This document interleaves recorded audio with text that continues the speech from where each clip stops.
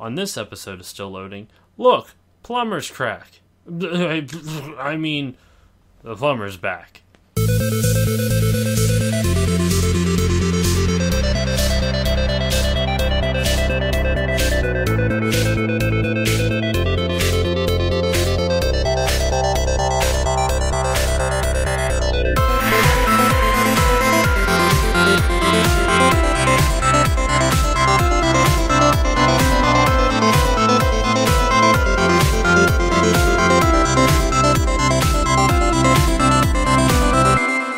Guys, we're back. Still Loading is back, and for our first episode, Justin is still out this weekend. He is at Otakon doing whatever he does at Otakon, animating it up and whatnot. Uh, so I have my good old buddy Tristan here. Hello. Uh, Tristan and I are going to be discussing today the Ratchet and Clank series. We are both gigantic Ratchet and Clank fans. Wouldn't you say so? Uh, yes, yes, I would. When would when did you first get hooked on the series? Oh gosh, whenever the second one came out, I think is when I I picked up a PS2 specifically to play the Ratchet and Clank series. I remember that. I also remember freaking.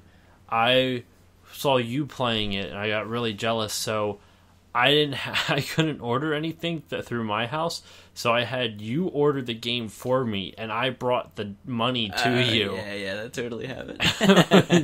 we, I used to also get you to buy games for me on Steam before I had a credit card and Right. pay you Yeah. cash for the. I was a lazy kid. Blast from the past there, yeah. Um, yeah, so we we've been playing Ratchet and Clank for a while now, a long while. I remember I got the PS2. and This was back when Blockbuster was still around mm-hmm. because you asked me to rent Ratchet and Clank One because you thought it looked cool from Blockbuster. Hey man, those commercials, right? like I don't remember much of the commercials. I just remember you playing. I'm like, oh, I tried it before. It was alright. It ultimately was you that got me rehooked onto the series. Same thing with kind of like Uncharted. Like I beat one and two. I'm like, oh, they were fun. And then that's another episode we could do another day. um, yeah, we gotta wait for uh, the fourth one to come out, and we'll yeah, like or like right before the fourth one, kind of have a retrospective on it Get like because it is getting released this year. No, early I- to mid 2016, I believe. That's what it's going to be. Yeah. But in any case, we will also be touching on uh, the movie that Ratchet and Clank is coming out, or the Ratchet and Clank movie that's coming out, uh, supposedly sometime next year, like early 2016, Yeah, it's uh, April or March, I think. something like that. I'm looking forward to. I'm really looking forward to it. Uh, but I figured we'd start out with um, just like the first, like just kind of first talk about the first game, I guess, and then just kind of talk about games after that throughout the series. So the first one kind of set the groundwork for a lot of the humor, a lot of the gameplay style, the mechanics, and everything. Nothing was really polished until the second one, which I think we're going to focus a lot on going command. Well, we're not going to go command. I hate Well, these might be. innuendos. You know, uh, Um, originally, uh, Into the Nexus was supposed to be called Into the Nethers. Oh, well, that was from that. Mm-hmm. Uh, what is it? Did you see the Did you know gaming video for Ratchet and Clank? Uh, I don't believe I have. We'll have to watch it later. Yes. If I mean, we're not gonna. Hopefully, we're not taking a lot of facts from there, but that's an interesting video. Like, t- um, the All for One Ratchet and Clank game was gonna be called uh, Foursome, or like uh, I forget. There's a whole bunch of others. Like, oh, they they would have done so much better if they there's there's a whole bunch of different names that they wanted to go with, but they were afraid that uh like that by the like really like harsh and well, harsh but very strong innuendos would have dissuaded parents from buying it for their kids. Understandably, I guess. Yeah, when you I- have like I guess. I guess. I'll ha- I don't remember all the names, but definitely check out that video. There's lots of cool little tidbits on it. Um, but the first one was awesome because it had like all the weapons were really fun. That's when you like I forget like half of them. That's the first weapons were the bomb glove. Mm-hmm. Was it a, a lan- No, the lancer came after. No, it was the it just was- called the shooter. I think it was just called the Blaster. the blaster. That was it. That that didn't come. So you had the bomb glove and what was the other one? Was it a flamethrower? uh, yeah, I think you got the Pyrocitor at the second planet. Okay. You're better with the names than I am. I just remember the bomb glove. That yeah, was about it. Yeah, got Bomb Glove, Pyrocitor, or Pyrocitor, however you want to say it. But Uh, like yeah. it was pretty rough around the edges because uh, remember you couldn't really like the game didn't pause when you were selecting weapons, so Mhm. you had to really know what you were doing on the fly. Yeah, you had to had to have your quick select menu like Memorized. memorized, and you know you do like a a dodge jump, and while you're still midair, kind of switch out. That was, ter- especially during the final boss. Mhm. The easiest way to beat that final boss is to save up for the Rhino. it's not even a challenge. you just kind of like click or Did I tell you how I got the Rhino on the when I did the remaster one? was that the uh, the glitch in the a hoverboard glitch. championship? Yeah, you, can, you can glitch through the hoverboard, and I just taped down the circle, the fire button on the, Mhm. the taunter. The taunter was another weapon; it would just taunt enemies over. It had had un, it had, didn't have ammo because it was just basically something that would like honk horns and stuff like that. So it would break boxes though. So you would stand on the hoverboard, you would glitch your way into the hoverboard map. And just kind of press circle down, and the boxes above would just constantly like break, and you because they respawn respawn naturally because it's on the hoverboard map. So you would end up getting tons and tons of bolts just by holding the circle button down. I think it took like two hours or something. I just held it down and let it go. Yeah, there's there's one achievement in there to get like an absurd amount of bolts, and I think I'm pretty sure you can only do the glitch once. Yeah, So I was gonna try and wait until I had gotten like some other stuff legit, and then just leave it on for like two days to get that last achievement.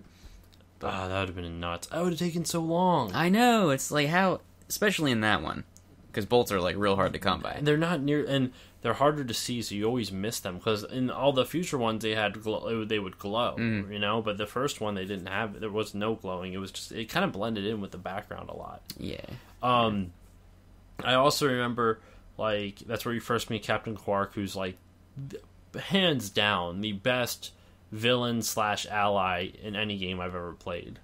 I he's just ridiculous. yeah. No, no other ones come to mind right now. Well, I'm I shouldn't say the best, but he's my personal favorite. I think it's just he's he's so hilariously stupid Mm. and just over the top. Like when we get to the PS3 games, like Tools of Destruction, I love how like he sends you Ratchet on missions, Mm. and he always like sends you on these horrible missions where he's like, "And I will, you know, bravely pilot you over the shark infested waters while you jump down." I forget what it was. Mhm. Of all his like crayon drawings of like what you're he's gonna like, do. "This is my master plan." So, uh, agent codename Dead Meat, and we'll, um, we actually have all the games out here in front of us. So if you hear some uh, opening and closing of cases, do not be alarmed. There was was it this one? Uh, one of them has a hilarious. It must be this one. The last one I opened, yeah, here.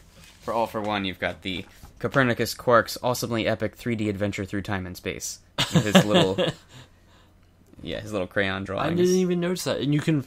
Oh, that's awesome! yeah, 'cause you can actually flip, it, around. over. That's genius. It's got some of like the the uh, concept art on the back there too. Right here. That's Yeah, pretty yeah. cool. I had no idea that even existed. Yeah, nice little uh, out of game Easter egg for you. I like how it even has like it's for three and a half players. They cut off half a person on that instead of four. Cause Mhm.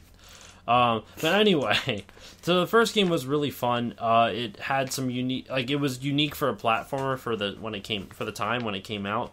Because the only other r- real 3D platform that was big on the PS2 was Jak and Daxter, which was definitely big in its own right. Like everyone knows Jak and Daxter Mm-hmm. but uh, I mean, Naughty, Naughty Dog did that. Insomniac does the Ratchet and Clank games, and their own, their only other games before that were Spyro, which were also pretty good 3D platformers. Mhm. Um, but Ratchet and Clank was just so unique because it was a platform, but it was also a shoot 'em up, but also a shooter at the same time. Not just like because I guess there, there's a fine line difference between a sh- shoot 'em up and a shooter, but like they kind of blended platforming shoot 'em ups and shooters all in one. Yeah, I think the first one is where that's the most murky. Um, just because you, you couldn't strafe, which was like a that was a big deal for me, which they fixed in in the next couple games. And Which since we might as well been- just go right into the second game, Going Commando. Which, by the way, if we say weird things, it's because all the games have innuendos, just about, with the exception of like the later ones. Like just to run off a couple, the second game's called Going Ratchet and Clank Going Commando. This the third game's called Ratchet and Clank Up Your Arsenal. After that, there's a PSP game called Size Matters. There is uh, Tools of Destruction, which that's a little, you know, you can use your imagination with that. Uh, there's a Crack in Time, which I don't know, maybe Plumber's Crack or Plumber's Back, whatever you want to call it. But uh, so they all have innuendos for those who don't know. but the second one just refined so much on the first. Yeah, they really they took even like the weapons. If you compare the Devastator, which is like the rocket launcher from the first game, to Wasn't the tube rocket or something? No. yeah, I, something like that. It, I know it had multiple tubes as you upgraded it. You know what? I can grab my phone quick and we can. The beauty of technology. hmm But- just look up weapons on here. But yeah, the whatever the rocket launcher was from, um, going commando, it actually had a second form, where it started off basically like the Devastator, just a single tube rocket launcher, and once you upgraded it, it had four tubes that you could actually charge up and fire all four at once. Well, this game just uh, it also um, came up with the idea of actually upgrading your weapons. Like the more you use it, you could level up your weapons. What three? No, it was only once. Yeah, I think it was just It was the later games that uh, let you level it up more than once. yeah, um, up your arsenal, which is I guess aptly named considering how many times you can level up your weapon. I think it's like a total of six. something Like, yeah, like six the, or the eight. first, th- you can level it up through, through three times on your first playthrough, and then another three times on your second playthrough, Mhm. Something like that. This is not help. That was not the right thing to look at. Um, but no, Going Commando was an amazing game. It's still considered widely to be the best game in the series. Up Your Arsenal technically has higher review scores, but a lot of people point to uh, Going Commando because it was the first game. Pretty much every game you play after Going Commando, it like they kind of excuse me. They it models it after going every game after going commando models it after going commando. The the whole gameplay style the leveling up of your weapons the how how the spaceship even works like where you can kind of customize it a little bit. Um the like you know the box breaker first appears in going commando. The bolt grabber first appears in going commando. Was there a map-o-matic in the first game? I don't think so. Uh, that is There might have been. question. I'm not sure. But they also kind of came up with ideas of like uh, funny funny names for new weapons and whatnot. So you have like you know, uh, they have it starts out with the Blitz cannon, which was that was like the shotgun. That was a cool one. Mm-hmm. That was the first one. They have the sheepinator, so you can turn everyone into sheeps. You know, and when you upgrade it, you get the black sheepinator, so they explode afterwards. as much as I enjoyed the Morpho Ray from the original, specifically because of the uh, the commercials, which I distinctly remember, hmm where they had the the two live action guys playing with it, and he turns the other guy into a chicken or something. Yeah. Uh, I really did like the Sheepinator. I like all the. I mean, they definitely modified it later on because in what is it in um, in uh, full frontal assault? I think you get the the Christmas sizer or whatever, the winterizer, where Right, you yeah, turn yeah. everything into snowmen. And then you hear like you hear like jingle bells in the background, and all the guys where their weapons are is just candy canes instead. So like the little crabs are just like little tiny people with giant candy canes in their tiny hands that look like claws. Yeah, that was uh, Into the Nexus. Into the Nexus had that? Mhm. Okay. Um, but anyway, Going Commando. Uh, the storyline was really unique because it took place in a different, not really unique, but it was it was a lot better than the first one. Um, it took place in a different galaxy. Um, there was actually there was an actual like somewhat of a plot where like you know there's a plot twist in it as opposed to just a straightforward thing. Like I mean, I guess the first one kind of did because Qwark starts out on your side, quote unquote, but you can tell he's an ass right from the get go. Yeah, so it's not like it doesn't surprise you at all. I remember playing through Going Commando and finding out spoilers for those who haven't played it that um, the guy who hires you to like save his galaxy turns out to be Captain Qwark in disguise, who just was just trying to use you to basically take over that galaxy. yeah, I forget how It was all- the protopet yeah, yeah. Um, because a scientist who you thought was the bad guy stole the protopet, and Qwark hires you to get the protopet back, and then use basically uses you to destroy the galaxy, which you end up and like he can't control the protopet because that turns into the giant one, which uh, he you don't even fight Qwark as the final boss. You have to defeat the giant protopet. mhm. Which again, if you have the Rhino too, Take about a 15 second boss fight. it's Yeah. really short. I remember I was trying to play it through one time. I was getting really frustrated. I'm like, screw this. I'm going to get the rhino. I just saved up for the rhino. It didn't take as long as I thought. Mhm. But in that game, also, you have, because it was like a million bolts for the rhino, which takes a long amount of time, but they also it was the first time they had arenas. Remember, Right, Uh, yep, You, mhm. you had all the different arena challenges, and you had like the impossible challenge. Yep, all the uh, gladiator deals. Those are all. There was two gladiator arenas in Mhm. that one.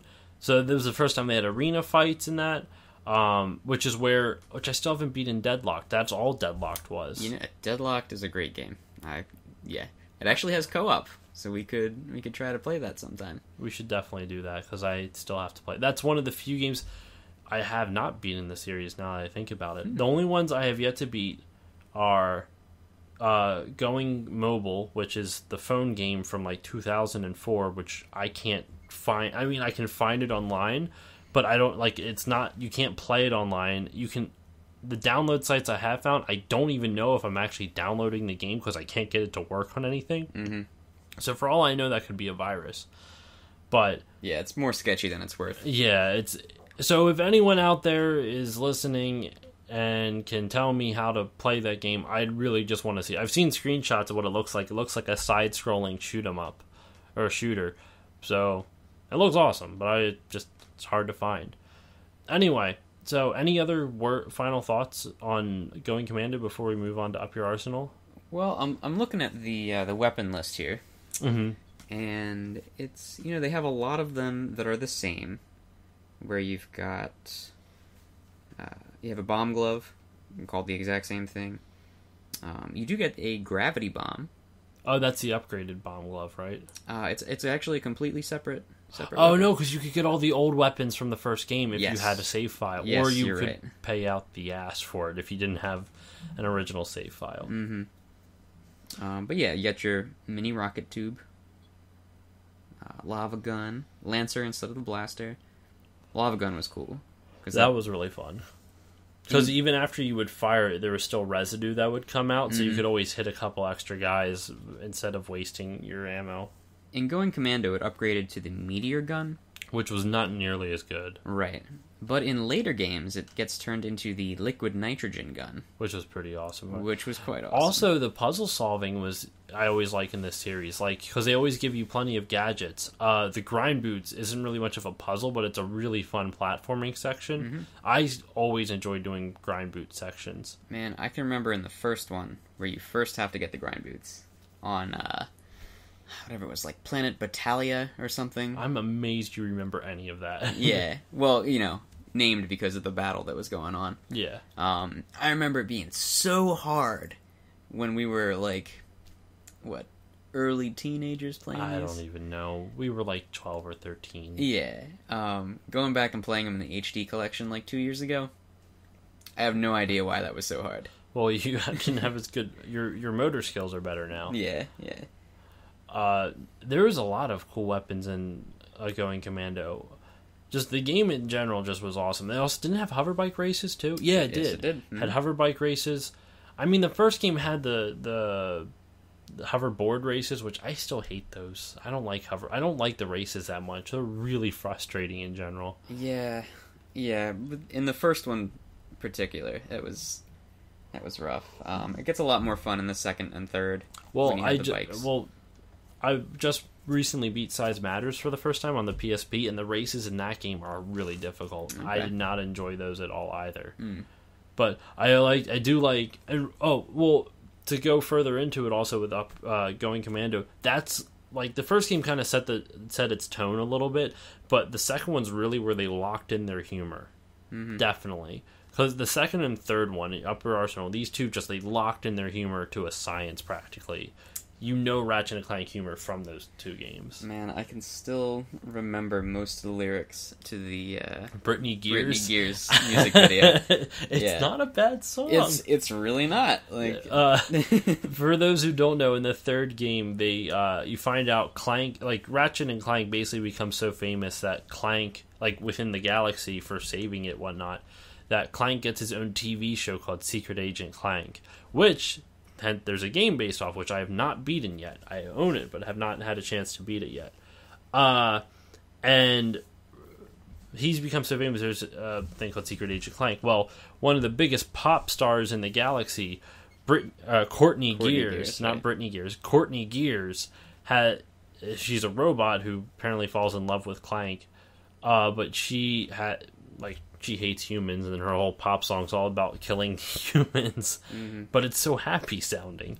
Yeah, I think she was working with Doctor Nefarious to uh, turn all of the air quotes squishies or any kind of organic matter into robots. And I love how Doctor Nefarious, whenever he like short circuits a lot, you hear that bizarre soap opera on the radio.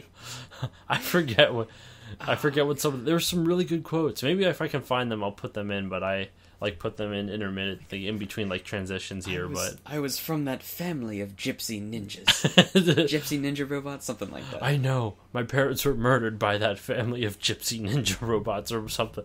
It was amazing, but um, it was like going commando had its first little bits of humor. Like I still remember in the first race, you find out like uh like there's a bunch. The first race is a bunch of biker dudes. And they're talking about how they like to dress up nice and have tea parties and things like that. So as it still it still sticks with me.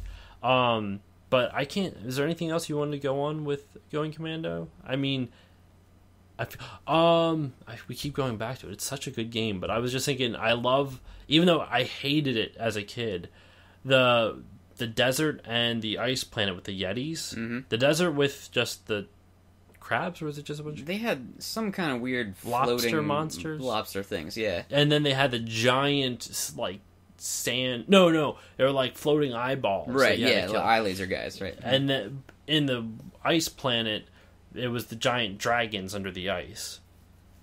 You remember what I'm talking Oh, about? Oh yeah, they're like And then- yeah, and then the big yetis. I- Those yetis are still hard to kill. hmm They are outrageously difficult to kill. I hated those things. Especially when you accidentally like aggro eight of them, and you're just like, oh my god. And they chase you forever. hmm They have they you can't get out of their range because they their their legs are so long or so, I don't know whatever. Yeah. It just it's ridiculous. That was really cool. They did that in other games too because like in Up Your Arsenal you had the whole sewer crystal thing. Yeah. Um, the Super crystal thing was okay. Um, I liked how they kind of expanded on it depending on what gadgets you had. Like once you got your mag boots, you could go up to like different levels, and Yeah, but uh, overall, I think I liked the desert and the the ice. Oh, I did more. too. Yeah. I mean I don't like the Yetis that much, but Mhm. they were interesting at least. Um, but all right, so I guess let's move on to Up Your Arsenal. Um, okay, so Up Your Arsenal was the third installment in the series, and it was a damn good one. Uh, that was remember the ranger missions. I do. that the first thing I remember about that game is like you Ratchet is tasked with like saving the universe, you know, again. I forget I forget exactly oh um Doctor Nefarious who's like he's just that's his first game he's introduced and he's a Mhm. major reoccurring villain in the series. I feel like this is like a James Bond series, you know. Yeah. Major reoccurring villains, bizarre gadgets, corny senses of humor. This is basically the James Bond of old school James Bond of video games. hmm But in a good way. That's not even talking about Secret Agent Clank, which is a blatant ripoff of, of James, Bond. Um, but uh, I just remember like Doctor Nefarious is up to go- no good. The only person who's ever stopped Nefarious was Captain Qwark, but no one's seen Captain Qwark since you beat him in the second game. And you find him on a planet, and he thinks he's a monkey. It's one of nature's mysteries. Mysteries. that, that's where the, some of the funny doc like docudrama Yeah, stuff they yeah. made would come in. Oh god, this game is so good. But no, so you have to you go to a planet to like um I forget why what planet why you go to the planet, but basically you paradrop in with a bunch of other soldiers and you have and they had a bunch of missions where like it was like a side quest thing that you could do after you beat the main part of it, but like they had a bunch of extra missions where it was just you running around on a battlefield, almost kind of like like Battlefield 1942 style, but like mm-hmm. not necessarily with certain numbers of like enemies on each side. You had you had to complete objectives, but it was like open. It was open world for that little bit. Yeah, it was a little. I remember when I first played it, I thought it was the best thing ever. It's kind of annoying now. Yeah, looking back on it, I feel like the series got a little convoluted in the third installment, where it didn't really know if it wanted to be like Going Commando, which it still was, but with these little extra things, it felt like it was trying to be a Battlefield game. Yeah, Um, that being said, it was still really fun going around with little hover tanks, and blowing stuff up and Yeah. shooting enemies. Yeah. Those missions were tough though. a lot of them were. Yeah, I I remember I had to force myself when I was replaying the HD collection to do it, and it was still just not fun as as fun, not as much fun as I remember it being. Um, what else? Did, I mean, I mean, you had the. I think I actually really liked the storyline of Up Your Arsenal a lot, just because it was just fun. Doctor Nefarious is a great villain. Yeah, I'm I'm a big fan of Nefarious. He's such a goofy villain. I just he's pro- he's probably the most memorable villain. Like Qwark shows up, but he doesn't really become a. He's never really a villain again after the second game. He's always just kind of like the bumbling idiot. Yeah, because what the first one he's in league with the villain, Mhm. and the second one he is the villain, and from then on he's just kind of like the goofy guy who wants to be the hero but is kind of a wuss and Yeah. nobody knows what his deal is. But I mean, he kind of was the villain if you think about it in Full Frontal Assault, because I mean, eh, okay, he wasn't really the villain, but he was like the. You find out the villain is spoilers for those who haven't played it. Uh, it's a Captain Qwark fan, an old Captain Qwark fan who hates him. So he created the enemy, so he kind of was the bad guy, but you don't actually fight him. Mhm. I mean, that's a really that's stretching. it. Yeah, it's a little bit of a really. stretch, that's not. but- Even, that's a lot of a stretch. That's like yoga right there. That's a very it's a big stretch. yes. But um, no, so up your arsenal was just cool because that's when they uh, added like all the bonus, uh, like you could upgrade your weapon three times, and then the new game plus there was even more. Couldn't you upgrade? There was a lot more armor upgrades in this one. So for the weapons, again looking at it online here, um, each one could be upgraded five times Okay. in the in the initial game, and then after that you could pay to upgrade it to a mega weapon, and then it would upgrade as you used it to giga and then omega weapons. So, it was like- about eight times. Yeah, That's nuts. hmm and that's coming from the original two, and then I think four in New Game Plus for Going Commando. hmm That was that. I mean, that's a huge step. That's Mhm. as opposed to only four. You're getting eight. They doubled it basically. It really wasn't up your arsenal type of thing. Yeah, yeah. Um, I we didn't haven't really touched on any of these yet, but like I loved all the gadgets that you would. Ha- I, I remember I tried bringing up earlier, but the the gadgets, not just the grind boots, but the ones you know, like what was the infiltrator was one. I forget which game that was from. There is the Trespasser. The Trespasser. the first game, Okay, and that had to do with. God, I forget how that one worked. But it was each- like lasers that you but had to each of those up. gadgets was like a little puzzle mini game, which Mhm. was really fun. And then you would have the gadgets that kind of affect the environment. Like the one was the thermo therm. Therm, it's in the second or third game. the Thermanator. the Thermanator, where you could like thaw and freeze water. Uh, um, the tractor beam. that was another another one. That was from the second one as well. Yeah, the Dynamo or Dynamo, if you will. That was like your all-purpose, like everything. you Yeah, know? I think they eventually mushed that one into the swing shot. Yeah, and well, they they basically they streamlined the swing shot through the dynamo and going commando, Mhm. and then the swing shot just came back. And I remember when you first get that in the first game, the the swing shot was awesome. I just I just love the platforming in Ratchet and Clank. Like it's a fun yeah. shoot 'em up, but it's also fun just to like use the swing shot and just swing from one thing to the other.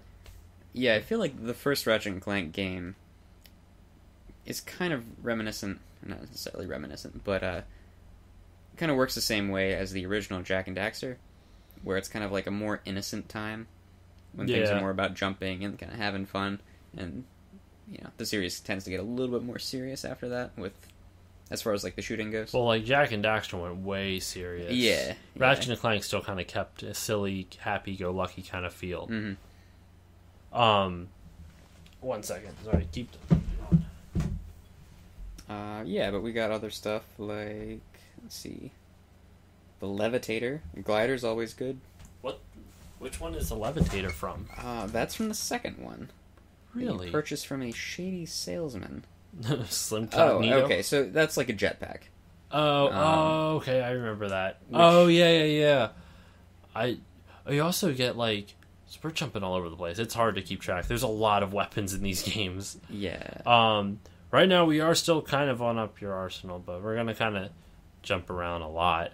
Uh, but then the what was it? They had the glider from the second one. You Mhm. remember that? That was that wasn't the first time you get the glider. Was one of the most difficult things to navigate that canyon. We remember how long we tried oh when we were yeah, a kid. yeah. The canyon. Um, I mean, it's still difficult even as an adult. It gets even more difficult later on in the game when you go to I forget what planet it is, where basically you fight your way through the whole level and then you have to glide your way back. mhm. and that was like a machine factory where they had like all sorts of gears and stuff you had to fly through, and Uh-huh. yeah, it was intense.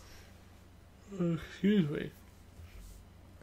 Um, but I don't. I mean, I don't have too much more to say about Up Your Arsenal because I don't remember it too much. It's not the last game I played was um, Size Matters. hmm Um, one more gadget that I think is worth mentioning from Up Your Arsenal was the refractor. Yeah, it was like the little shield ball, and you would have to. You could like aim like if light hit it, like the laser, you could deflect it and kill Yeah. enemies with it. You could re-aim the laser, um, kill enemies with it, and then that was a big part of the puzzles was re-aiming that laser into. and it was also a skill point to kill a certain number of enemies. yes, skill points. I for that's something we haven't mentioned at all yet. They every game had them. yeah, it was kind of the uh, the old school achievements or trophies Yeah. um, before.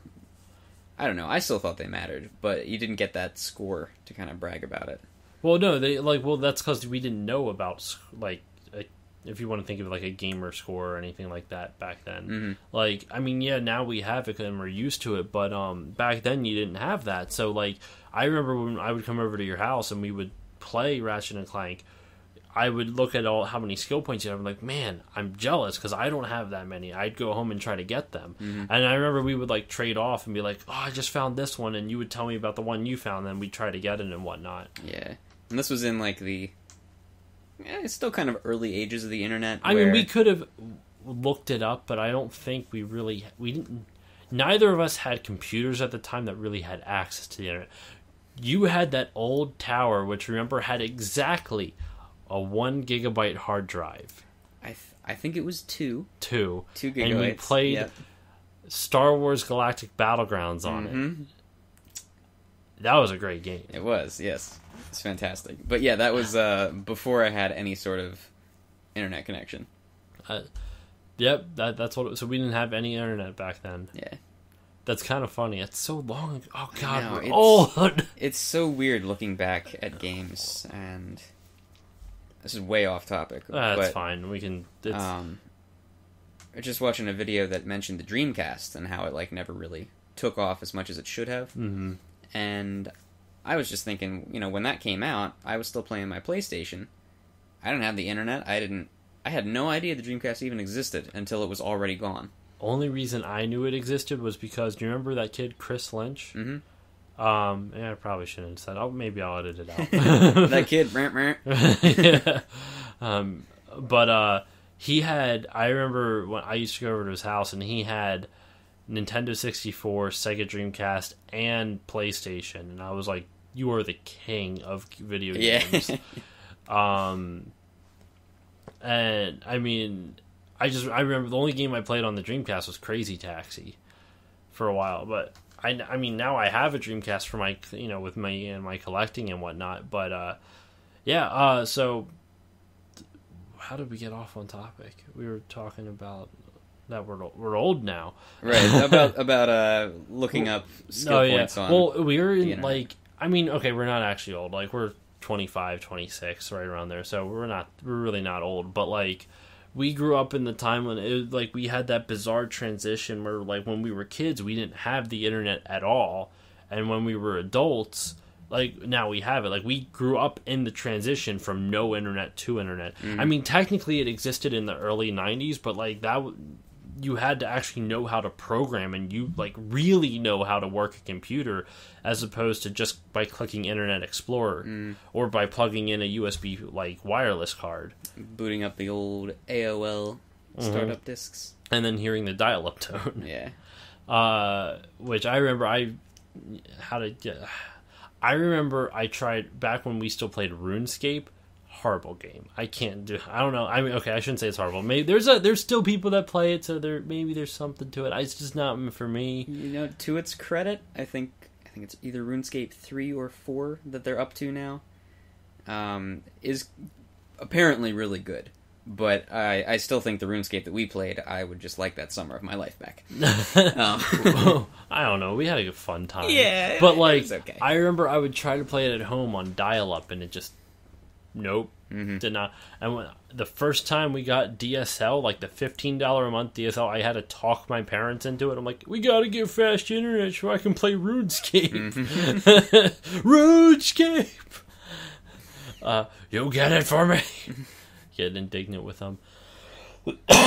okay, so back on topic. Um, any other things for up your arsenal? Let's see. We talked about the cool new gadgets.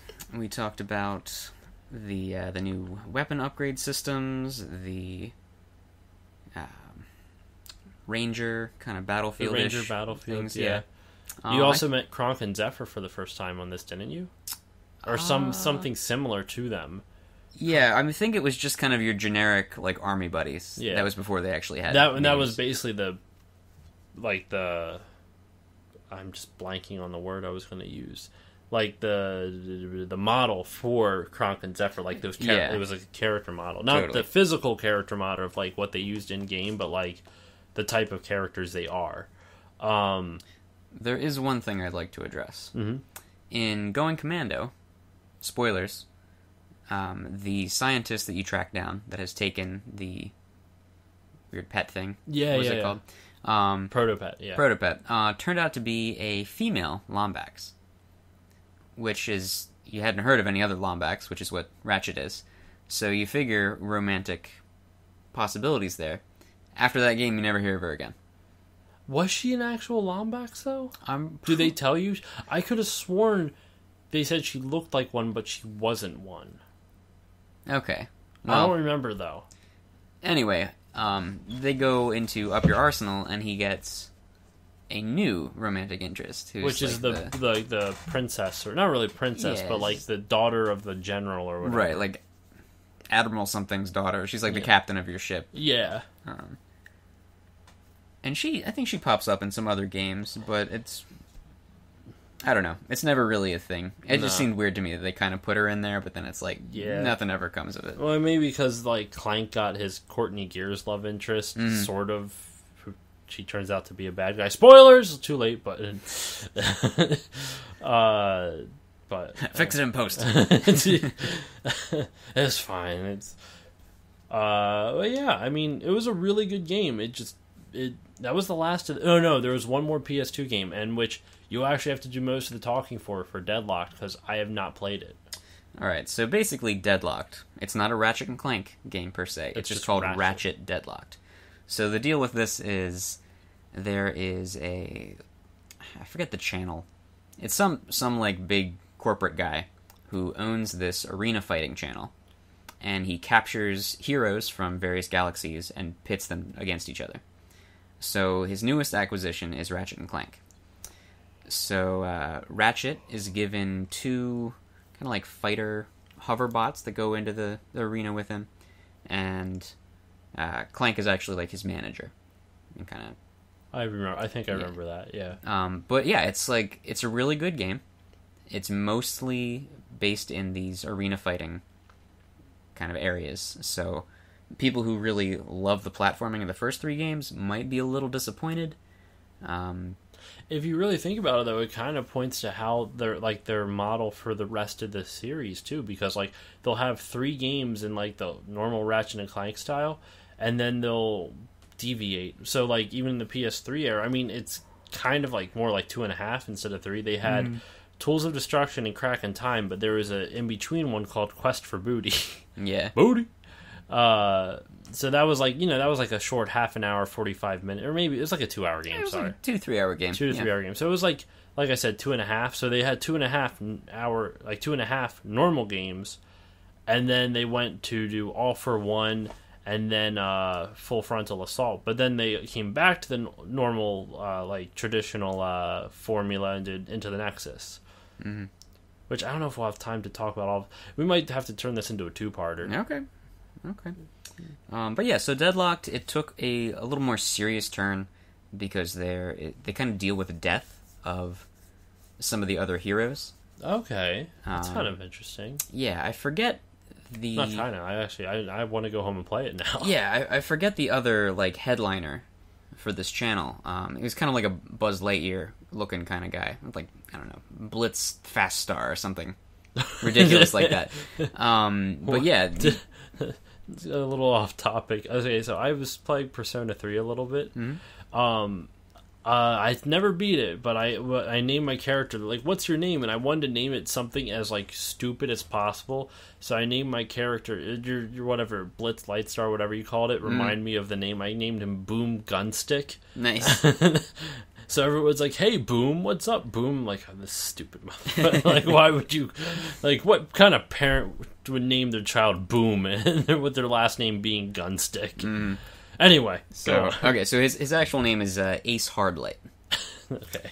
Um, but yeah, there were a few videos that you would watch, like as commercial kind of spoiler thingies, um, of him actually killing some of the other heroes, and you can see on the like the ranking system when you start, there's a whole bunch of them, and then Ace at the top, and then by the end, you've got the like big kind of tough guys that you kill, and then all the ones that Ace had killed, and it's just you and him are the only ones on that scoreboard anymore. Everybody else is like deceased.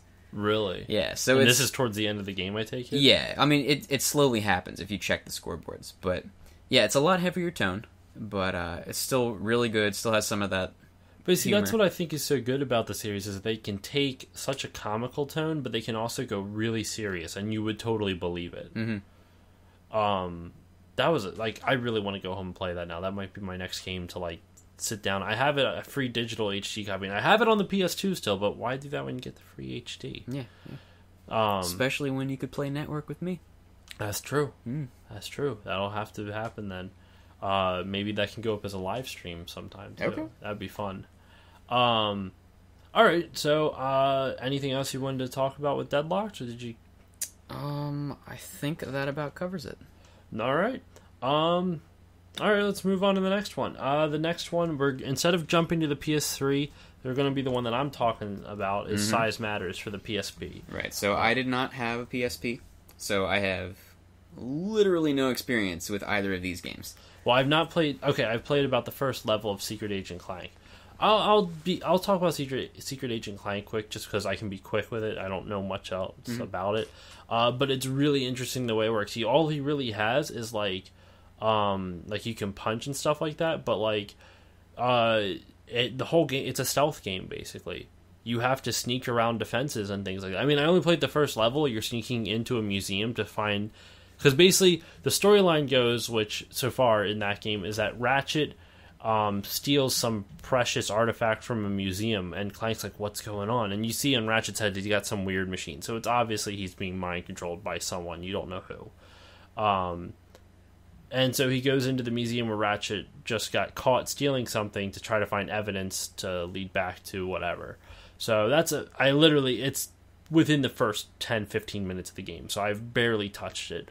I just I, it was interesting like you can uh, you there's just a lot of interesting interesting things you can do with it so, far it seems like just the stealth aspect. So if if I can play more of it before if we actually turn this into a two-parter if I can play mm-hmm. more of it before the second part, then I'll go with them. But as of right now, I don't know much about it. A little bit of like Metal Gear Clank going on there. Yeah. That's cool. Well, literally metal. Yeah, yeah. That was a bad joke. I'm going to file that. And well, hey, his the C in his name is a gear, right? So Ah, I'll take it. okay. Um, so Ratchet and Clank Size Matters uh, is a PSP exclusive. Well, it was exclusive. It got ported to the PS2. Um, it's a pretty fun game. It, it it really holds up as a Ratchet and Clank game on its own. Um, basically, the premise of it is is that you Ratchet like gets asked to like do something by this little girl who asks him to save him. Turns out, uh, spoilers, it's not much of a plot. So even for you, Tristan, who hasn't not really played it, uh, you find out that the little girl is actually a little robot controlled by these things called technomites, which they you know they're tired of basically building all the technology in the world and not getting credit, so they fight back. So the end of the game literally is you fighting the technomite leader, but you're like a little tiny version because he has a shrink ray, so he shrinks himself to fight the Technomites. Okay, cool. Um, so there's not there's not really anything cool with like you know like oh look it's small Ratchet and here's tiny gig or here's here's tiny Ratchet with gigantic boxes and stuff like that. So I was kind of bummed out that it was like that, but it was still really fun. Um, your weapons do upgrade. There was um, like there's a trippy dream sequence in it, which I actually hated because it was impossible to see anything, but it had some cool ideas. A really solid like game. It wasn't developed by Insomniac. It was developed by High Impact Games, I think. Yep, you're right. Um, but they did a really. It's obviously in association with Insomniac, but interesting thing I found out. You know how like they always have in those other games like Break a Snowdan, and it's like that that skill point Mm. to, you find a snowman, and in um Into the Nexus they have this big statue you can find in like the museum of Dan Johnson. Did, did you find that in Into the Nexus? Oh, I don't know. I'm gonna have to run through it again. It's it literally does nothing for you in the game. It's just an Easter egg. Uh, but Dan Johnson was a programmer at Insomniac, which I was unaware of until a couple weeks ago. Which I feel bad. I should have known, considering I'm a Ratchet and Clank fan. But this game is in dedi- Size Matters is in dedication to him because he died during the development of it, or like okay. right before it. Same with Deadlocked, I believe. I think so. Um, but Size Matters, I mean, there's not much. It was about an eight-hour game, so it was kind of short. Oh, not really short, but like that's. Yeah, I mean, not not bad for a handheld that's a game. very good for a handheld. I mean, Uncharted games are eight hours long. Mm-hmm. Uh, but I, I thoroughly enjoyed it. It I will say though, it is tough as hell. it is stupid hard. The final boss, I barely beat. He killed me at the same. I killed him a second, like a split second before he killed me. So I was able to complete the game, but it doesn't have a cut and cutscene. Maybe I have to. I mean, is there one? I don't know. I have to check YouTube still. But um, yeah, I mean, not too much else to talk about. Size matters, but it was a damn good game. Damn good game. So if you have a PSP, definitely give it a play. Uh, let's move on to the PS3, All right. which so- is the final, the final frontier. We might actually fit this all in here. Let me see what our running time is. So a possible part two. I think we can do it all now. if we could. Uh, it's gonna be close because we're already running a at about forty minutes or so, forty five. I don't know. We'll find out when after I edit everything Alright, out. Yeah, we, I mean, we can blaze through these. We could Um, we could talk this for another forty five minutes.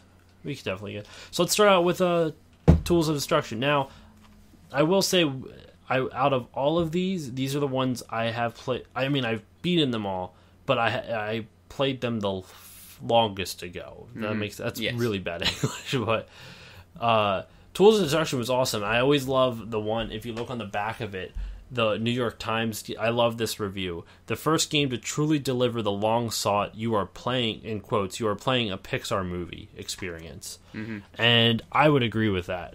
It had uh, what was it Emperor Tachyon, right? Percival Tachyon. Never, they always make fun of him because his name's Percival.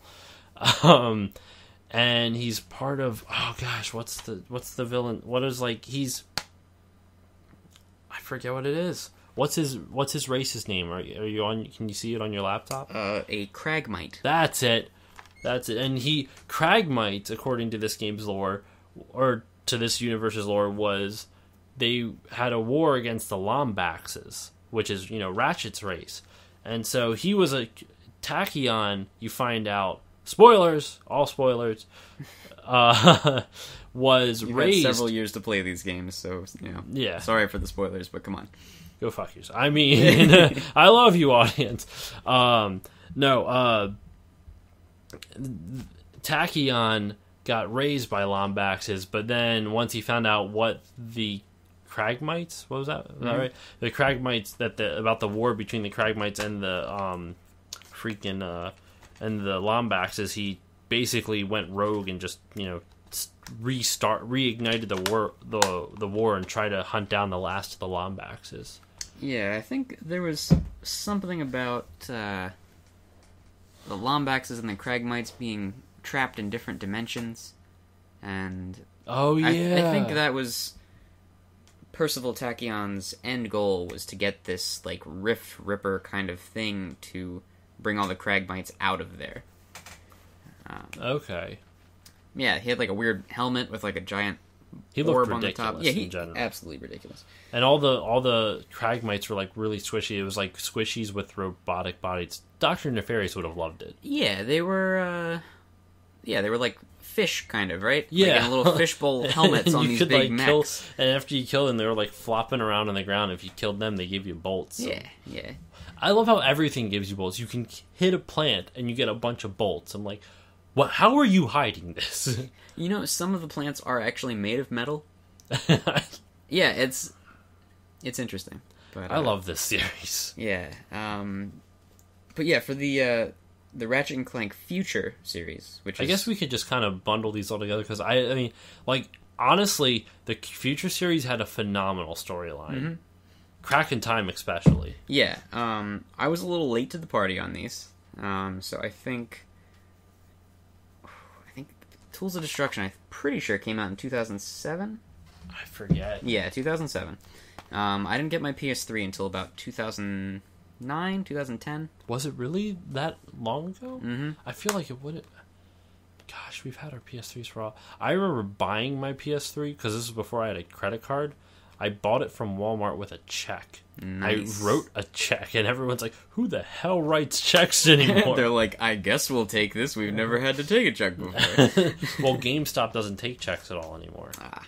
So I went originally went to GameStop, which now you know after working there, I don't know why I decided to give them business. Mm. I hate GameStop. But uh, but anyway, so the Tools of Destruction game I had actually borrowed from you, and I think you slept over, You played and it I just entire- played all night. I woke up to you still playing Tools of Destruction. Yeah, um, I'm pretty sure I did go to sleep even after you left, and I beat the game later that day. And that was the only it, that was the only time that I went through it, so I'm I'm a little foggy on it, but I just rem- I remember it being good. It was a really good game. I even I just remember the cutscenes were really cool from what I remember. I also remember that's where like uh, Captain Qwark starts to real like he comes back to help you. out. I guess he doesn't really start helping you out. He did that in the third one as well. But um, I do remember like that's where my favorite cut. One of my favorite cutscenes is where he like he gives you his cr- like crown crown drawn plan. That's a tongue twister there. Uh, of like how you're going to infiltrate some secret base, and he code names you dead meat, and you have to swim through like laser sharks and stuff Yeah, like yeah. that. I don't remember the exact thing. I, you can just find you can YouTube a bunch of these, and they're amazing. They're all amazing. Um, but the whole uh, Ratchet and Clank Future series was it was Tools of Destruction, then Quest for Booty, which was like the DLC side game, and then Crack in Time, and then they rounded off the full thing with Into the Nexus. Apparently, I think it's called No, just Ratchet and Clank. it's Ratchet and Clank. Well, from what I was reading, some I forget where, but it's supposed to finish off the future series. Like it, it rounds it off before you know the PS4. They're basically rebooting the whole franchise. Yeah, they're rebooting the whole franchise, Yeah, which mm-hmm. is weird. I've never really seen a game get reboot after, you know, the last game was still like all the games are remote are pretty much popular. Like they always sell. I don't I don't think they've lost money on a Ratchet and Clank game yet. yeah. It's it's kind of mean, I like the wouldn't know. Spider-Man movies, where they just finished off a trilogy and they're like, let's start a new Spider-Man series. Yeah. Yeah. Like, I don't know. Well, Um, hopefully, I mean, I didn't like the most recent Spider-Man movies. I tried to. Yeah, I I lost interest after two. So, So, um, but anyway, yeah. So uh, well, I was going to say, unlike those, I'm looking forward to the next installment. Yes, absolutely. Uh, so Tools of Destruction was very good.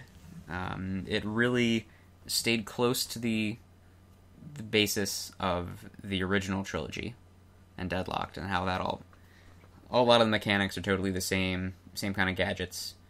Uh, a couple new weapons that were really cool, but overall the same deal. Yeah.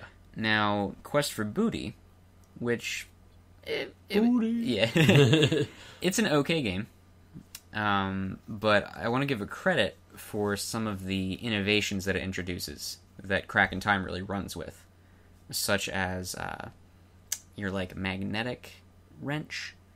yeah. There's various puzzles with that. You would like throw it up and have to like, well, not, bleh, but like Yeah. throw the wrench with your arm, not your not your bruh. Yeah, and like it, you would have to use it to like you know rotate different like rotate different screws like um, screw in different screws so it Mm-hmm. would like do something. Because that's one of the common it's not really much of a puzzle but it's still fun to do. In ratchet and clank like the whole series i'm surprised we didn't talk about this before. You'll just see random screws sticking out of the ground where ratchet goes up with his big wrench and just twists them. Mm-hmm. and that's a puzzle. Hooks them in and runs on a circle. yeah. I mean i don't know why but it's satisfying. It just it is. Like it, they, they don't they don't do it a lot. It's not like they're like this is our you know like hook this is how we get the kids these days with all the screwing Yeah. yeah, it was uh it was always interesting because you really in order to do it, you just kind of hit the button. So you're holding on to it and then you just bring your joystick around in circles. That's And it. Doesn't matter how fast you do it, he always goes at the same speed but still whenever you do it, you try to do it real fast thinking that it's going to happen quicker. Yeah. it never works but it's it's surprisingly satisfying for such a stupid mechanic but hey it it's part of the game series one thing i'm surprised we haven't really covered it either i'm gonna say that a thousand times Clearly we should have written out notes for ourselves before this, but uh improv everything yeah. uh, I love their aesthetic, like the art aesthetic of everything. Like they have, you know, a Ratchet and Clank game not just by like the the dialogue and the humor in it, but also by the world that they create. Like you, it feels like a, it's almost like a bizarre modern steampunk. You know, yeah, a little bit. like everything's kind of got gears and a little bit more technology, but at the same time, it's very colorful and bright. Steampunk's usually very dark, like it's got lots of. Mm. You usually see lots of browns and like stuff, but this is all like brightly colored, lots of blues and greens. And, Yeah, it's it's somewhere oranges. somewhere between Steam and Cyberpunk. yeah. It's I love it. I love the their art style in all the games. Like everything, always it it always feels like a Ratchet. Like I love the feel of it because it just makes you happy to play it. It makes you mm-hmm. want to be in that world. Now, granted, I think for us, a lot of that might just be the nostalgia. Nope, it's true. Okay. Don't Um, care. yeah, I mean, whenever I boot up a new Ratchet and Clank game, I'm immediately smiling because it's just It's bringing just back all those old memories of the, the original games. Well, like just- the thing is, the thing is, if it was just straight nostalgia, we wouldn't like Into the Nexus. But Into the Nexus, it was a pretty. Actually, it got some. There were some dark moments in Into the Nexus, Mm-hmm. which we'll cover. Which spoilers, big spoilers for when that when we get to that. I'm not gonna like people die. stop listening now if you don't want the spoilers. Yeah. For, For- or just well, keep listening. everything. It's fine. Um, I don't know how many times we can like no matter how many times you say spoilers, everyone's going to be like, "You suck! Why did you tell me this?" Yes. Like, all, were you really all 12 gonna? people that are going to listen to it. Yeah, were you really gonna play the game tomorrow? Really, Mm. really?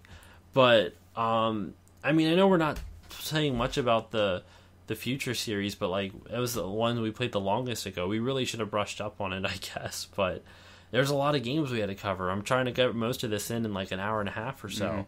So this is going to be a nice long episode, but that's good. Um, so one of my other things I really liked about Crack in Time, though, the the final game, we're gonna, like I said, we're kind of kind of talking about the future trilogy altogether. You know, F- Tools of Destruction, Quest for Booty, and Crack in Time.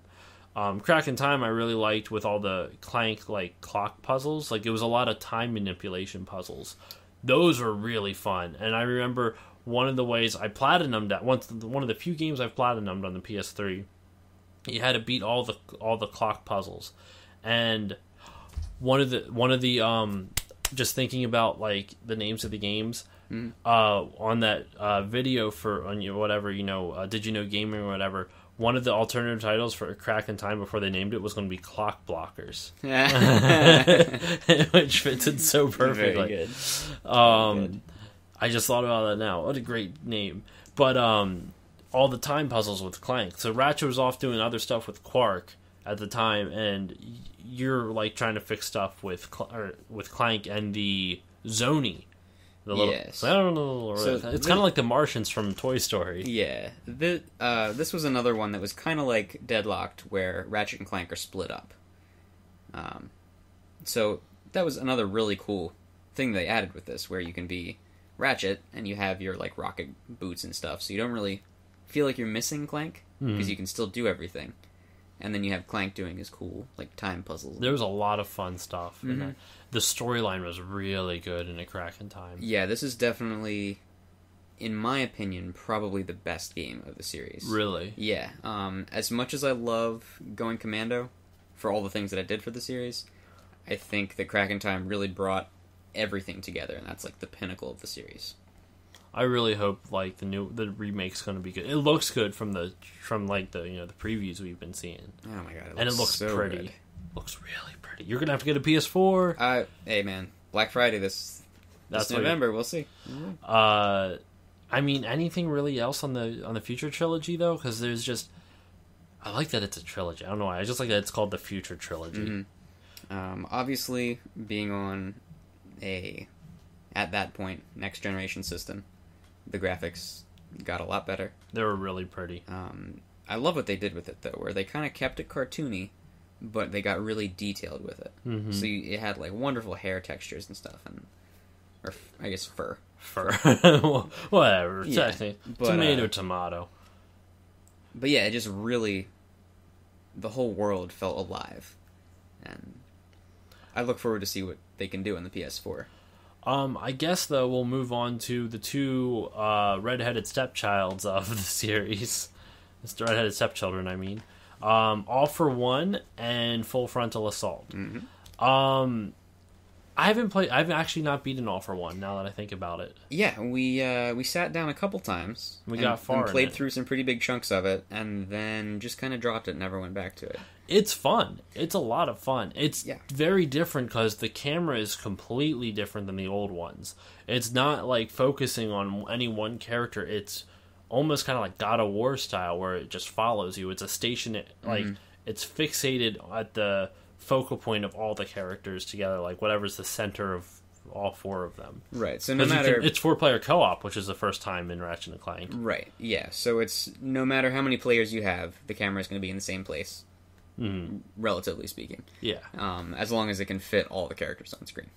I remember the first boss we reached was the one where like you had it was like a bunch of tiles and he would send like waves of like you know electricity things that you have to jump over while also shooting. So I just remember how crazy it was that you couldn't really control the camera. It was one of the most hectic boss fights I've ever been in, but it was one of the most fun I've ever been in too. Yeah. It's. Uh, I really want to get a group of four people together just to play this all the way, like one shot it. Yeah, the most I've played it with was three, and we actually it's it was me and then two of our friends who are not Ratchet and Clank fans at all. Um, Did- played like very limited amounts. Did they like it? Yeah, they really well. I think they liked it. Maybe they were just humoring me, but but I was having a great time. So They leave the house like fucking stupid. yeah, they're like, oh, never bring that game over again. But I'll have to. We really ought to like you know sit down and try to play it again. Uh, but All for One was really cool just because it was the first four. Like it was a co-op game. Like I know, like you said, Deadlocked you could play two player, but this is a four player co-op game, which Ratchet and Clank has never really had, Mm-hmm. and I still think has not had since. Um, though looking at the case now, I'm surprised it's 3D compatible. yeah, that is pretty. I mean, cool. I always think it was interesting that the PlayStation decided to go 3D gaming a little bit. Like I've seen 3D gaming like at GameStop, but it's just it like 3D TVs are so expensive. Yeah, you know they're not too bad anymore. Sony did offer one for a little while where like if it was like two hundred dollars for like a twenty four inch eight 1080p 3D TV. Yes, the the PlayStation TV, I believe they called it. Uh, when they originally released it, it was like five hundred bucks, and nobody bought it. Yep. And then it very quickly dropped down to two hundred, and I almost bought one. Had it had some Yeah. marginal success, I bet. Mhm.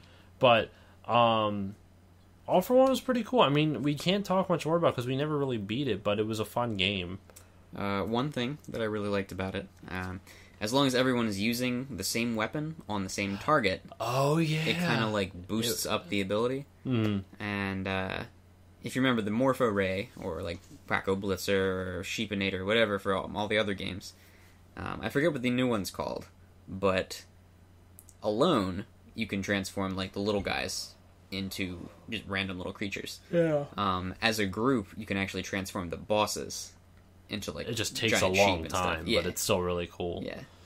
That was a fun game. I mean, well, I don't know how many times I'm going to say that, but it's it is a really good game. It's, it it like I said, it's kind of like a redheaded stepchild because not a lot of people like. It. If you give it a chance, that and they changed the art style up. Ratchet looks a little different in this one, Yeah, it was. They kind of went even more cartoony. more almost. cartoony. They got rid of that detail that I really liked in Crack in Time, Mhm. which it's okay. It's still it's still a cool art style. I still love the characters.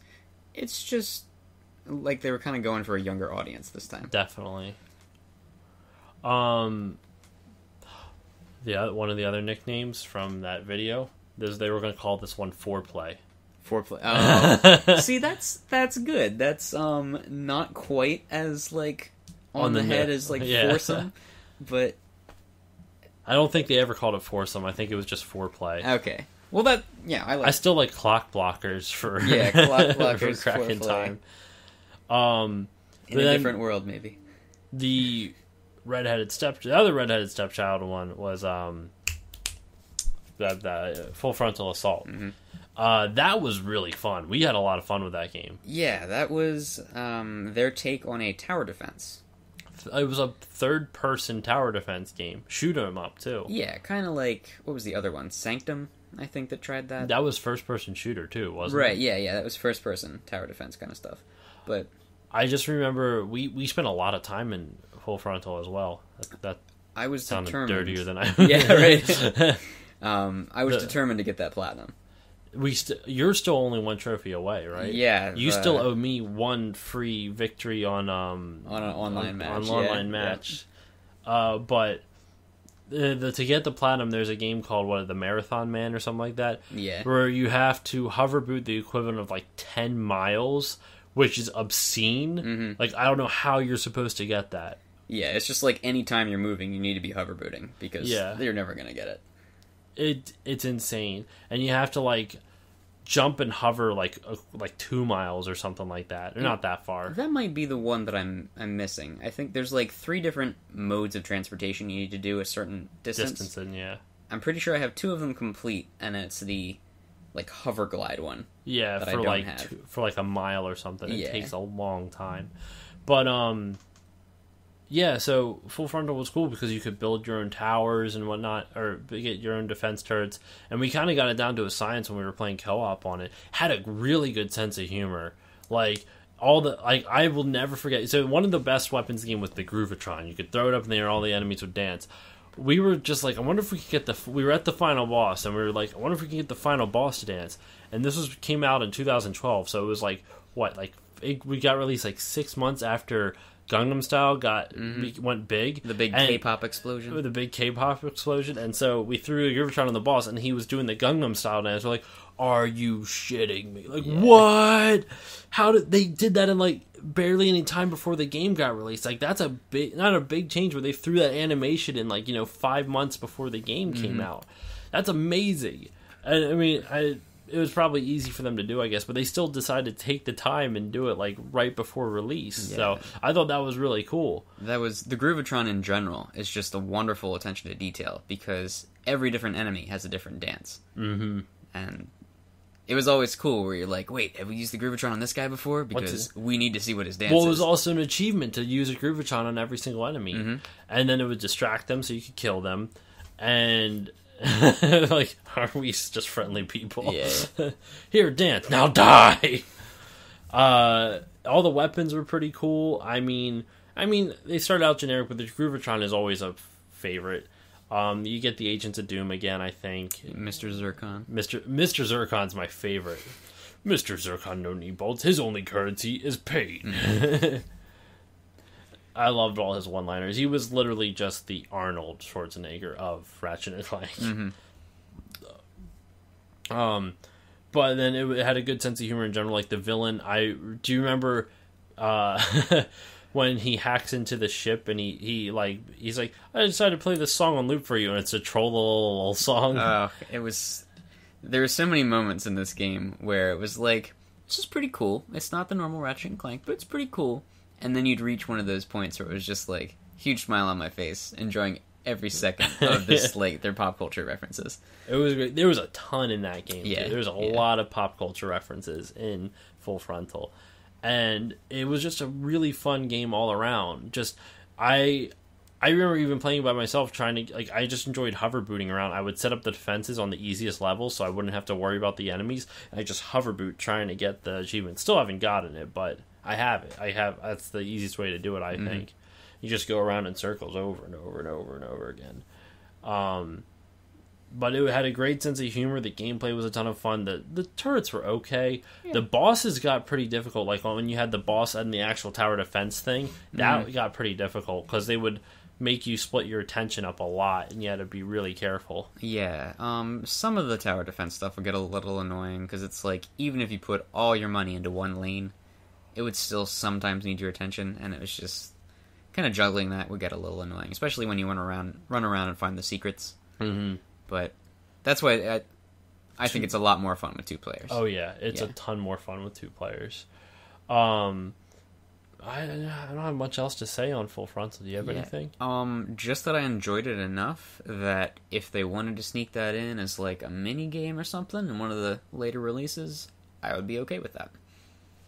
Just, I just putting it out there, Insomniac. If you if you wanted to do that, that'd be cool. if you listen to this 10 you know this podcast that maybe 10 people listen to Mhm. take it to heart or put a little mini that would be a cool mini game like maybe that that could be like the arena mode instead of having the normal arena they could do that as the arena Okay. that would be kind of cool right or maybe one I mean, of the arenas you know, I still like the the arenas, but I would I'd be down for for everything, all inclusive game with every mini they game. could of the probably fit games. it on there. Yeah. um all right let's move on to into the nexus the last game of the series. I mean there are there is one that else that we have not really talked about. It was the the other mobile game they have. There's two mobile games that ratchet and clank has. There's one ratchet and clank going mobile which like, like i said i can't find a copy of anywhere because it's for really old phones. Uh, the other one what was it called? It was before the nexus right? Oh yeah, yeah, and it's just like an endless runner game. So you know, Temple Run, that kind of thing. But with a very, it's definitely very Ratchet and Clank from what I saw you playing on. it. um, yeah. I I downloaded it on my phone literally ten minutes before we started this podcast, to or whatever we're calling this. yeah, whatever. podcast. It's a podcast. Um, And yeah, it's kind of interesting. It's definitely got the the good 3D aesthetic. Um, controls are a little clunky, but that might just be my phone. Um, yeah, it could just be the the, hard, the hardware specs on your phone. Yeah, definitely better on a bigger screen. But uh yeah, it's and it's, it's free. It's fine. so it's, free, so give it a shot. I mean, we don't have much else to say about it. It's a it's a endless runner. What else do you have to really go on? Yeah, it, wa it was really just a promotion for Into the Nexus itself. which I didn't hear about because we my little bit I was like, let's see what Wikipedia has to say about Ratchet and Clank, and it mentioned it. I'm like, what the hell is this? I've never seen this before.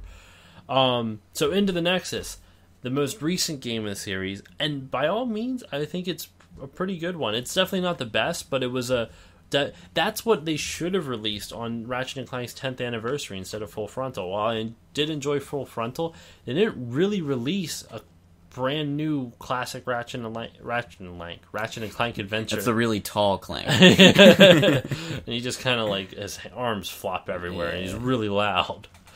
Um, I liked uh, Into the Nexus a lot. It had a really it had a pretty cool backstory to the villains. Um, general the animation was gorgeous on it. Like everything, like the frame rate was really crisp, so everything looked really nice. Um, the puzzle solving was a lot. It, there was a, they focused more on puzzle puzzle solving in that one. Did you notice that? Uh, yeah. I, Yeah, I there's- enjoyed it because there was like what was it was it was it the gravity gun or I forget what it was but like you could shoot basically like it's almost like the, the puzzles would be a series of mirrors and what you would shoot it would get a portal of gravity almost like Portal itself. Yeah, in uh, in Portal Two they have, I forget they're like gravity reinforcement beams or something. Well, didn't they have it in Portal One too with like the little blue beams going across the screen? They had it in Portal One. Did they? I thought so. Maybe they did. Portal Two they added in the goo things that you would just. Right? Yeah, I guess, I guess you're right. It's been But a while since I first. It's kind of it's been a Yeah. while, but it's kind of like it's kind of like that, um, where you would have like a gravity. I think they had that in there. Yeah, they did. Yeah, they definitely did. Um, so they had stuff like that. They had what other get what other like puzzle things did they choose? I mean, I just remember it was a lot more int- puzzle intensive, but the storyline was pretty unique. There was just basically like two villains. Like the one villain I forget her name already, but you're um I shouldn't say the story's unique. It was just it was short it was a short and sweet game and they only charged like what, 20 bucks for the game too. Yeah, I think it was thirty, Was it? like twenty nine ninety nine. It was it was cheap. Yeah, And like, so was- it definitely I definitely felt like I got my money's worth. I don't know why Sony doesn't do that more. Back in the PlayStation games, instead of games being sixty dollars a piece, it was fifty for a brand new game, and games they weren't quite sure, like like uh, you know Power uh, Power Rappa the rapper or whatever. That was like a forty dollar game. It was like experimental games. They would be like, "Well, this didn't cost us too much to make, so here's a forty dollar game." I honestly think they should do that more often. They'll sell so many. Like, yeah, it's not going to sell a lot of units, but they're going to make money on it. So, what's the problem? You know? Yeah, I think that's happening more. If you get games like uh, like Killing Floor Two, I think is forty bucks. Um, See, and they really should do that more often because um, these big budget games like are ruining companies. Like Bioshock Infinite was a huge success; like it sold tons of copies, but it's still bankrupt Irrational Games. really, wow. Yeah, because it was just well, it, it they sunk so much money into it to recoup the cost. They had to sell an obscene amount of units, like unrealistically high. Mm. And it's the same. That's why. Why do you think Call of Duty doesn't iterate? Because it's expensive to iterate. That yeah, absolutely. It's very expensive to create it. And like, I guess we complain about all the complacency. I know I'm going off on a small tangent here. We complain about the complacency of um, like AAA games, but if you think about it, like it's just so expensive to make games now because of the demands of the consumer. Mm. Like we expect like good voice acting, we expect like high like solid frame rates and good animation and all this other stuff. Um, so I think studios are going to have to really. This has nothing to do with Ratchet and Clank. Hey, that's okay, man. I'll I- I'll jump in on this too. I think studios really need to find a way to like iterate on, well, like create something new, but not spend like make smaller games, which they already are doing anyway, and just figure out. They got to figure out how to spend less money, but make good games still.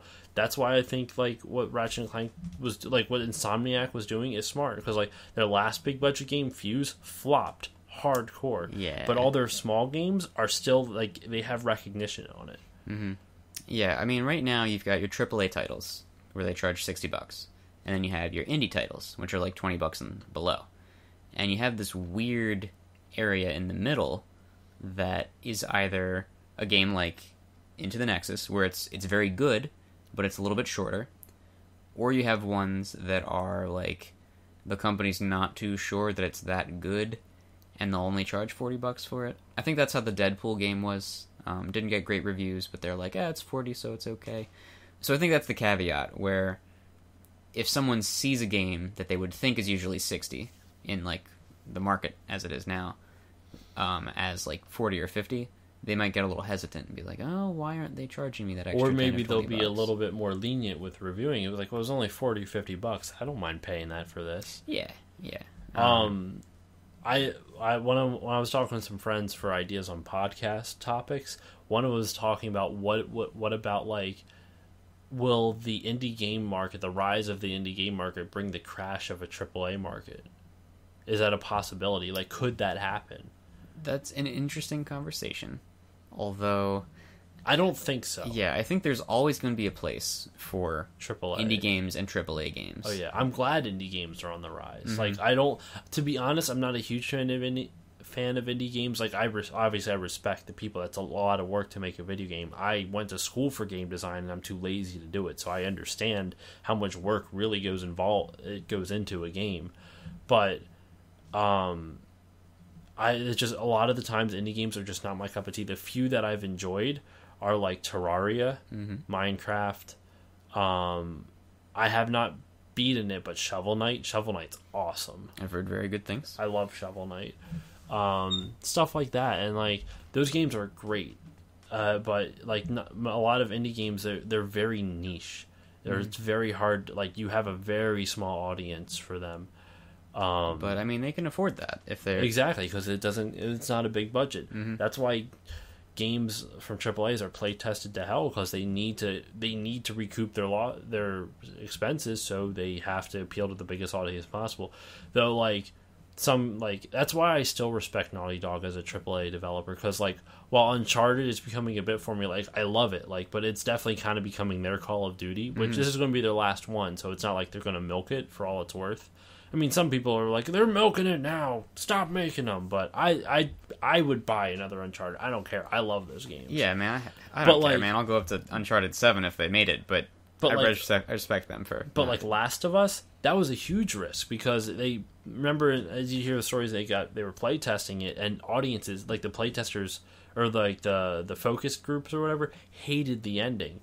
But then the was it Neil Druckmann, right? I think he was the writer. I can't remember. I think it was Neil Druckmann. He was like, "Nope, we're sticking with the ending anyway," and that's the ending that's in the game. And everyone like everyone loves it. The critics adore that ending, and for good reason. It's a damn good ending, which uh, we won't spoil that in this episode. we'll spoil that on the next episode. Exactly.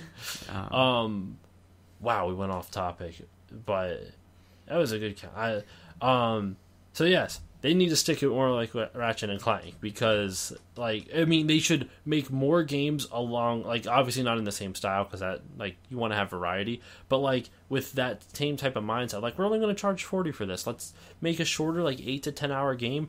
That's all people really have time for anyway. Mm-hmm. Like for even the hardcore gamers, like. I have a full time job. I'm doing like and now that I I'm I, I just got I'm a supervisor and whatnot. I have to do overtime, so I don't have time to play 40 hour games like on RPGs. I don't have time to. It's hard for me to even get uh, buckled down into a 20 hour game, let alone like. I, I mean, just anything else longer than that, like I said. Mhm. So, I mean, I started. I, I'm starting to play Final Fantasy three on the Super Nintendo. That's taking me a long time because it's just it's they're long games. Yeah, I had my my brief moment after graduating college where I thought I'll I'll take a couple weeks to just just do me stuff and dumped like 2 weeks straight into The Witcher 3. And I have no regrets. but I, I can't see myself doing that a lot in the future when you know, you're, you have a full time job and it's like there's just not time for that.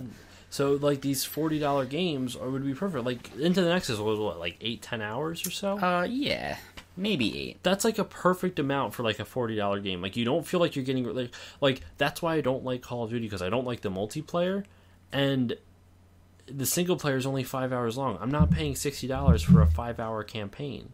Yeah, that's it. Especially stings because I enjoy the Call of Duty single player, Yeah, but it's just not worth it to me.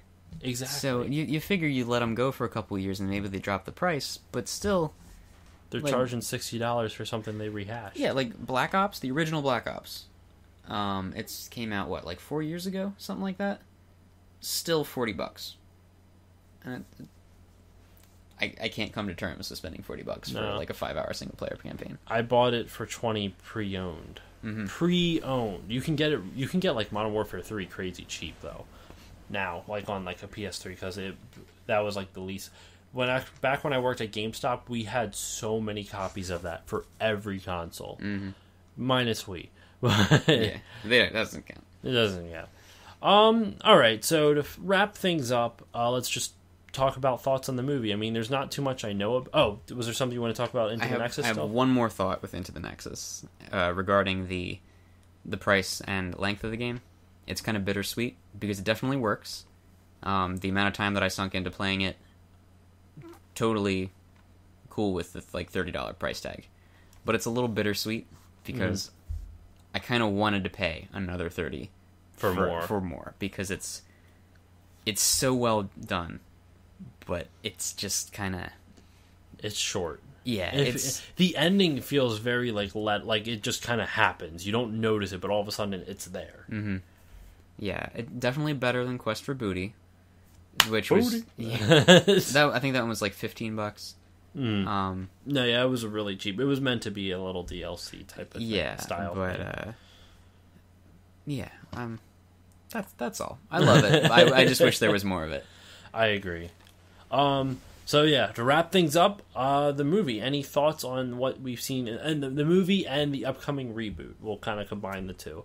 Right. So I haven't really seen a whole lot of the movie except for the trailer, right the original trailer. which was like okay. Like I I don't always judge movies. Like Frozen had a horrible trailer, and I actually ended up liking Frozen, despite you know the internet sensation of Let It Go Sure. ruining everything. Um, but like based on how the game looks, Looks gorgeous. it already looks the like gameplay looks fun. legitimate Pixar movie, Mm-hmm. like level of detail. Um, but still, it's the original game, But- reimagined with these amazing graphics, and it's like it's this enough of the same that the nostalgia thing goes off in my head, It's bubbling up. but it's still new enough that I will I'll If Without it a might- doubt, spend, like, it looks like it might be a new, ga- like a brand new Ratchet and Clank game, even though it's a reboot of the old one. It's, Yeah, I mean, I'm telling all my friends that have PS4s, if you haven't played the original Ratchet and Clanks, next year's going to be a great time to start. It's a true. It's true. And the movie that's tying along in with it looks good too. Though I am interested, like, because they have all the all the voice actors: James Arnold Taylor, um, Jim Ward as Qwark. Uh, I forget who else they have on there, but all the original voice actors are there. Um, and then on top of that, uh, they're going to the the writer of all the games. He's doing the screenplay. So and they're using the same models from the game for the movie. So it's looking like they're really like Insomniac's going all into this. Mhm. Like they're really trying. They're uh and I can only imagine oh, computer started up. Sorry. Ah, sorry. That's not a thing. uh, doesn't exist. Fix it in post. um uh but like they're going all into it with all the different voice actors. I mean all the voice actors, the writers, like everything. Like they're just going they're putting they're going for it. Mhm. Yeah, um, it's interesting. I think they're really trying to harness that, like, kid market now, because I think Ratchet and Clank's been out long enough, and it's taken on some serious tones, that you have the people like us that started playing them when we were, like, 12, 13, Mhm. and the games have kind of matured a little bit with us and i think they want to take a step back reboot it have the tweens i guess Yeah. of now you start getting into it and that's great because if more people are buying it that means more games with that can only be good but I think it's one of like I mean I know it's not the most the the longest running franchise in game history, but it's got to be one of the longest running successful ones. Mhm. Like it's just got to be because why else would they be making a movie uh, out of it now? Like it Into the Nexus had to have sold well, otherwise I don't think they would have gone on with the movie. mhm. Because if it didn't sell well, then there wouldn't have been any like drive. Because the thing is, they to take this risk, they have to know their their hardcore fans are going to be in it. If they're what if Into the Nexus died, they would know their hardcore fan base is gone. Mhm. But I don't think it died then, because otherwise, I mean, I could be wrong in this thinking, but it's got to it's it's got to be like Yeah, it's got to be one of the best selling franchise. I mean, Zelda definitely is probably the top selling, if that like longest running top selling, because I can't think of anything else. Like, I mean, Halo maybe, but Halo doesn't have as many games. i think final fantasy but ugh. i mean that There's a lot. Of, I keep forgetting about this. When you There's get a lot into, of franchises. 13 13 2 13 3 And it's then there's like 10 and 10 2, then Final Fantasy Tactics, right and then so all it's- the different Final Fantasies that are on. There's even Final Fantasies on the. Oh, you ever heard of the Wonder Swan? i have not The Wonder Swan was a hand. It was a was a like a Game Boy, but you know it's like a it's a handheld console that was only released in Japan by Hasbro. I think it's Huh. Yeah, it was, it was goofy name. It was actually done developed by the same guy who developed the Game Boy, Gunpei Yokoi. If I probably butchered his name, I'm horrible at it. But he helped design it. And when Sony, when uh, Square had all like you know switch over to Sony for the PlayStation, they're like, "Screw you, Nintendo!" and went over to the Wonder Swan for their handheld market. And when the Wonder Swan tanked, which okay, it didn't tank, it did decent in Japan, but it never got released in America. Um, and so after that kind of like not really tanked but died, they're like, "Hey Nintendo, you know, we kind of miss you." And so that's why you have like, you know, the the Dawn of Souls type of thing on the Game Boy Advance. You have the Final Fantasy reboots on the Game Boy Advance Mhm. DS and the remakes and everything like that. Um anyway, sorry, Ratchet and Clank. We went off on a I went off on another tangent. yeah um, i had heard from it might have been one of the IGN topics or one of like the Game Over Greggy kind of stuff, but they were saying that Sony may be angling for new parents, where it's like, I mean, we don't have kids, but we're of the age where it's like it's possible that we would have kids. Yeah. And so there's definitely people that grew up on the original Ratchet and Clank games that could then be reintroducing their children to this franchise they love.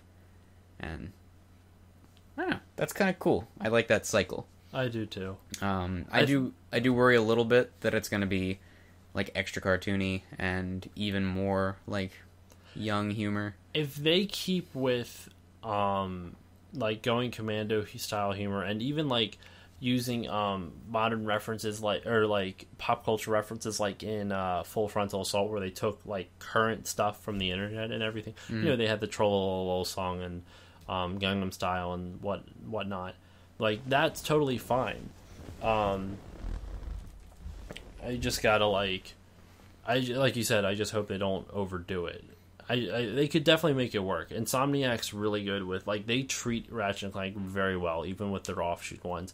I mean, their other games, you know, oh the Resistance they they did too. They don't do Resistance anymore, unfortunately.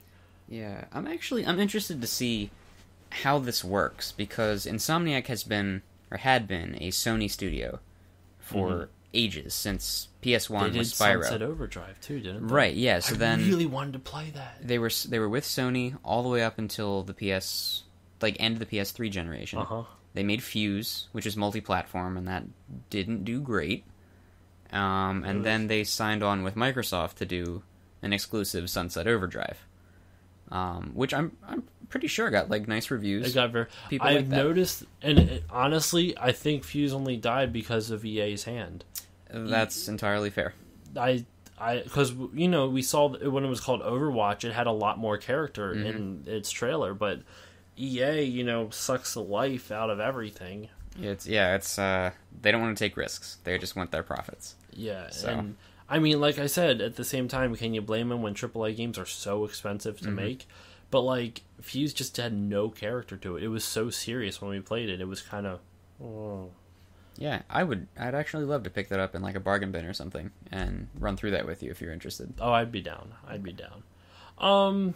All right. So I guess before we close in our final thoughts, thoughts, thoughts, the last thing I do want to bring, uh, bring, uh, talk about is uh, that why the hell is Sylvester Stallone a voice actor in the Ratchet and Clank movie? Is he? He is. Do we know what character he's playing? No, well, I don't know. I mean, I guess we could do some digging on the internet. I just looked online. I heard it before before I even read it on Wikipedia. I forget it's on, but like Paul Giamatti is going to be a voice in it. So is Rosario Dawson. I really want to know what Sylvester Stallone's going to play because I can't picture him doing anything video game related Unless, other than like his weird '90s movie. Not weird, but his '90s movies being turned into Super Nintendo games. uh huh. Like I found Cliffhanger on Super Nintendo the other. I didn't buy it, but Sure, it's there. sure. I've tried Demolition Man on Super Nintendo. That's hard as hell. Hey man, that was a good, that was a good I movie. love that movie. Yeah. Um, but any, but any final thoughts on uh, the upcoming game and the upcoming movie? Uh, I'm excited. Computer. Fix it in post. yes, Um, I I'm excited as well. Yeah, I mean, I I mean they could be bad, but I seriously doubt that. I think Sony and Insomniac both have a lot on the line here, and they want to make it count. I agree. Um, all right, guys, so that pretty much wraps it up. We've been talking for a good long while about Ratchet and Clank and how much we love it. So if you haven't played these games, definitely check it out. So until next time, guys, see you later. See ya.